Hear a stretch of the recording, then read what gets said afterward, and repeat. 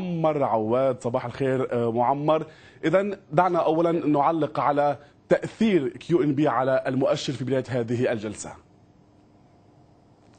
لا نستطيع أن نتحدث عن تأثير كبير في الحقيقة لأن هذه النتائج جاءت دون التوقعات هناك كما نتحدث أنه كحد أدنى أنه البنك قد يسجل 10% معدل نمو آه، كان اكتفى فقط ب 7% كنصف أول أتحدث هنا. ولكن إذا ما قرنا ربع بربع يعني الربع الثاني 2013 مع الربع الثاني ب 2014 عم نحكي بس عن 3.5% أو أقل من ذلك. لأنه معدل آه، ما أضافه فقط 40 مليون ريال قطري وبالتالي قد تكون هذه من أقل الفترات الزمنية آه، في آه، حساب النمو لدى هذا البنك حتى منذ انفجار الأزمة المالية. لكن لا نستطيع أن نغفل بأنه البنك في العام في الربع الثاني 2013 سجل ارتفاع قوية في الحقيقة مليارين و600 مليون. طبعا نتيجة يعني بعض الاستثمارات وبالتالي استطاع أن يحقق يعني بعض التدفقات المالية صنفت في في بند الأرباح. لذلك كان الحصول إلى مستوى مليارين و679 قد يكون هذا يعني أمر جيد نوعا ما إذا ما تمت المقارنة. ولكن بالمجمل عم نشوف إنه ارتفاع في الموجودات اللي كنا عم نشوفها ب 2024 خفضت إلى 8% عم نتحدث فقط عن 128 مليار دولار أمريكي. رغم هذا ال ال هذا النمو وإن كان دون التوقعات لكن عم نتحدث الآن عن أكبر بنك عربي من حيث الموجودات. كذلك أيضا بالنسبة للودائع نمت فقط ب 6% بينما إن كنا عم نشوف فترات سابقة ب 15 20 و25% 345 مليون وكذلك أيضا القروض نمت نوعا ما كانت لكن أقل من فترات سابقة ب 326 مليون. عائد على السهم يعتبر جيد نوعا ما بالنسبة لهذه المستويات السعرية.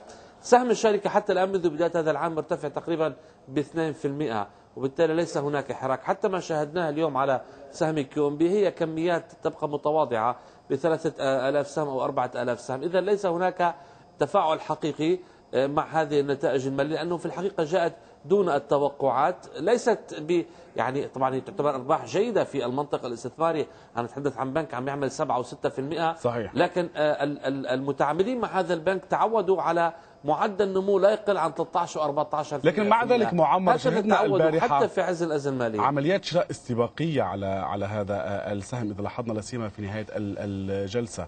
آه، كيف ترى هذا الأمر؟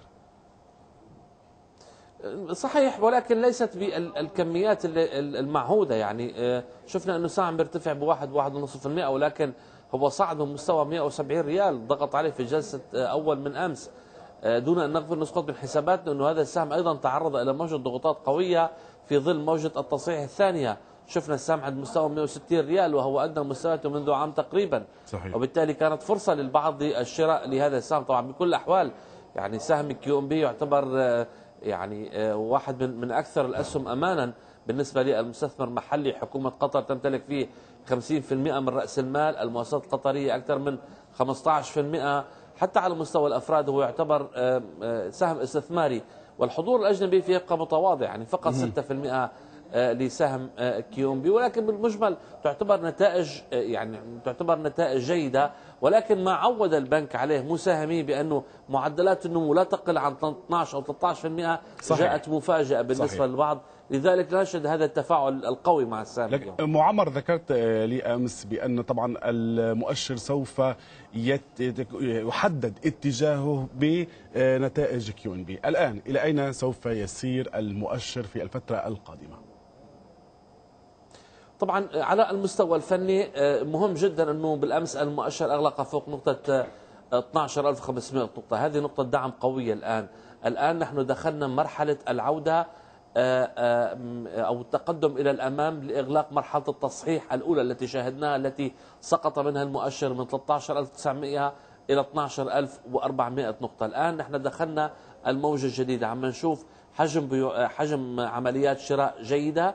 عم نشوف سيولة جيدة شفناها بالأمس. صحيح. أيضا اللاعب الأجنبي الذي كان صافي عمليات وبيع الآن تحول إلى صافي شراء. يعني حتى اللاعب الأجنبي بدأ بعمليات شراء بالتوازي مع المحافظ المحلية. اذا هناك سلوك جديد شاهدناه في الأمس. المحافظ المحلية والمحافظ الأجنبية تقوم بعملية الشراء.